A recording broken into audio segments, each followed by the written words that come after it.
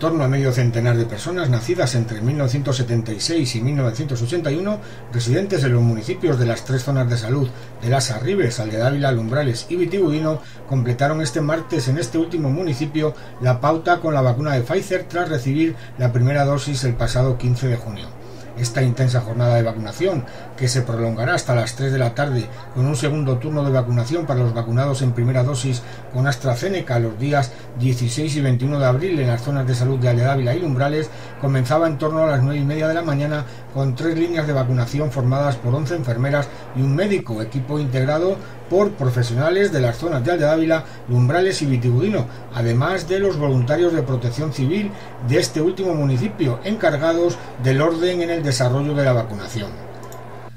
Tras el primer golpe de público de primera hora, la cola a las puertas del frontón de pelota de Vitigudino apenas si duró 30 minutos. Transcurrido ese momento, la vacunación discurrió sin esperas, aunque ya permanecían a las puertas del frontón algunas personas correspondientes al grupo de vacunación de AstraZeneca, el cual no comenzaría su vacunación hasta pasadas las 12 y cuarto de la mañana. Al ser dos compuestos diferentes, este hecho impedía al equipo sanitario vacunar con las dos vacunas al mismo tiempo, según señalaron a este diario. Concluida la vacunación de este primer grupo, Las Arribes al Día ofrecerá una segunda información de los vacunados en segunda dosis con AstraZeneca.